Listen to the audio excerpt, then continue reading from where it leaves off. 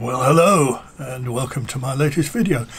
If you've seen my most recent video, which is called There Is No Gravel, uh, you will know that I did a, a gravel ride in Purbeck on the southwest coast of the United Kingdom. And it was probably my first real gravel ride in the sense that it was the first ride where I did uh, some actual riding on gravel. Done a little bit previously, but this was an actual gravel ride.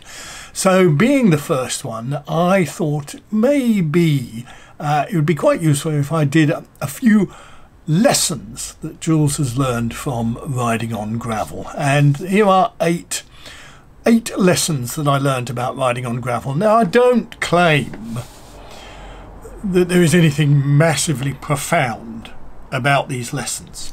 Okay, uh, I don't claim that these are startlingly original. Uh, I don't claim that you would have come or would not have come across these particular lessons before. But uh, as somebody who has ridden on gravel, proper gravel, and as somebody who has learnt a few lessons about riding on gravel, I thought I would share them with you. So let's start with number one low gears. Get yourself some low gears. In fact, get yourself the lowest gears you can possibly get hold of.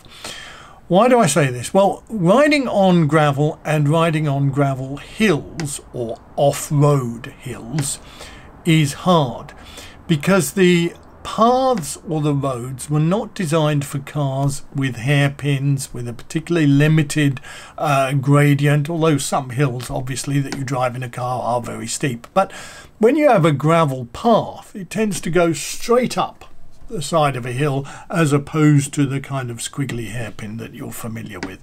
And you are going to find those climbs tough. And if you're going up a climb or a hill that's like that, and you are riding on grass or some other uh, organic kind of surface where grip is difficult, then the lowest gears you can get your hands on are going to be a benefit.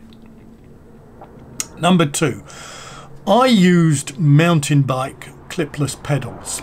And although a lot of the time, of course, they're fine because you're riding on a flattish surface or you're riding on a slope and it's useful to get some extra purchase on the pedals. There are also times where you have to unclip, you have to get off the bike, and therefore I think it would probably be easier if I had flat pedals, i.e. similar to what you might find on a mountain bike or any other bike with flat pedals come to that. So clipless pedals have their place, but if you're going to do some serious off-roading, I would suggest that flat pedals are probably the best bet.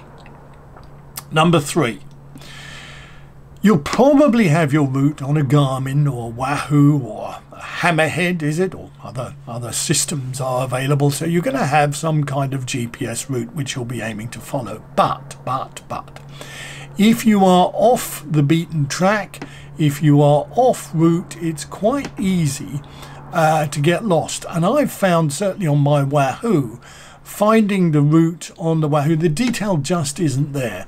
So I have a phone which has got all of the OS or Ordnance Survey maps downloaded onto it and every so often I found it useful to stop the bike, have a look at the phone, check the OS map and see where the particular path went because they're not always as well signposted, it's not always that easy to follow and in fact if you watch my video you will see that I got seriously lost, not lost in space, not not lost like Shackleton would I ever be found. I got lost meaning I got off the route and I had to find my way back onto the route. And a map, and if you carry a paper map like my friend Mark does, well, that's probably even better because an OS map on your phone is quite a little thing. I'm sure you can work that out for yourselves.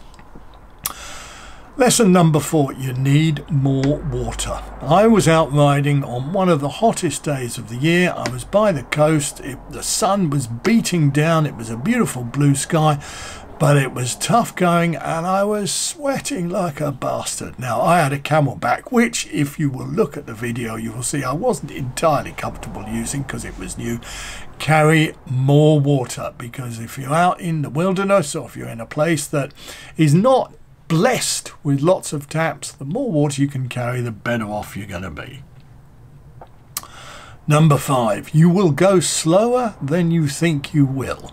So if it's hard going, I mean, the route that I took, because I got lost for various reasons, I ended up on a footpath, and the footpath really slowed me down. So the average was about, I don't know, eight and a half miles an hour. So don't set yourself a big 60 mile gravel route and think, oh, well, I'll be punting around this at 50 mile, 15 miles an hour or something, because, okay, maybe you will. Maybe you're Peter Stetina or Colin Strickland or Ian Boswell or Laurens ten Dam or one of the other great gravel cyclists, or maybe you're like me. And if you're like me, it's going to take longer. You're going to go slower than you think you will. So organize your route accordingly and recognize that the likelihood of achieving a big, fast pace on a gravel ride at least if you're like me, 65 years old, is fairly slim.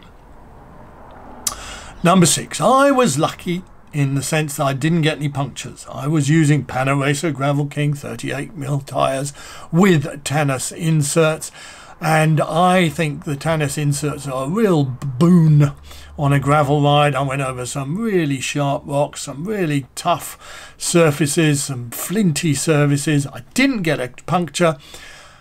But that's well, It's partly down to luck. It's partly down to the Tannus inserts. But be prepared to get punctures. And I suggest if you're going tubeless, why would you go tubeless? Make sure you carry your anchovies or your bacon strips or whatever you call them. Make sure you've got yourself a spare tube. And if you're using tubes, make sure you've got at least two tubes, maybe three, and make sure you've got a decent pump. Don't just rely on a CO2 canister, on a CO2 canister carry a decent pump because if you get a puncture and you get more than one puncture, you're going to have to pump up your tyres. Number seven, my advice would be go with a buddy. Uh, yes, of course you can ride on your own. Yes, you can go out in the wilderness on your own. Yes, of course you can do all of those things. But if you're off road, if you're out in the wilderness, if you're out in the middle of nowhere, things can happen, things can go wrong, accidents can happen. You never know when you might need a little bit of support. So, my advice would be go with a ride buddy. It also gives you somebody to talk to, somebody to annoy, in my case, somebody to make stupid jokes to, again, in my case. But just having a ride buddy, well, a ride buddy is a good thing anytime you're cycling. But if you're going gravel riding, I think a ride buddy is a good idea. And the last the last lesson, don't ride on footpaths. Now, there's a number of reasons why, certainly in the United Kingdom, you couldn't, you shouldn't ride on footpaths. For one thing, it's illegal. But I ended up on a footpath because we got lost, we got off the route, we found a footpath, we went along it. And the thing about a footpath, you see, is you come across a gate or you come across a fence or you come across a stile or you come across some kind of obstacle that when you're on foot is pretty easy to pass. But when you're carrying it, or when you've got a bike, and even a heavy bike, if you've got to lift that bike over a fence, over a wall, over a gate, try and get it through a kissing gate, it's not necessarily that easy. So if you ride on a footpath, and you shouldn't ride on a footpath, but if you ride on a footpath, you're not going to do a great deal of riding on a footpath because it's not designed for bicycles. There are plenty of obstacles, there are low hanging tree roots, low hanging tree roots, low hanging tree branches upswing swinging tree roots, things to trip up the unwary. There are massive boulders the size of the southern island of New Zealand, and so you've got to be careful. So my advice, I don't know what the rules are in uh, New Zealand, thinking of a country, or uh, the United States, or, or Singapore, or Hong Kong, Namibia, name your own country. I don't know what the rules are around footpaths. I suspect that as it's called a footpath, it's not supposed to be ridden on a bike. So you might manage it, but the chances are you're going to come unstuck. So there you are, eight lessons for your first or your next big gravel ride. Take them as you find them, use them or don't use them, but I hope you found them of some benefit at least. So thanks for watching and see you next time.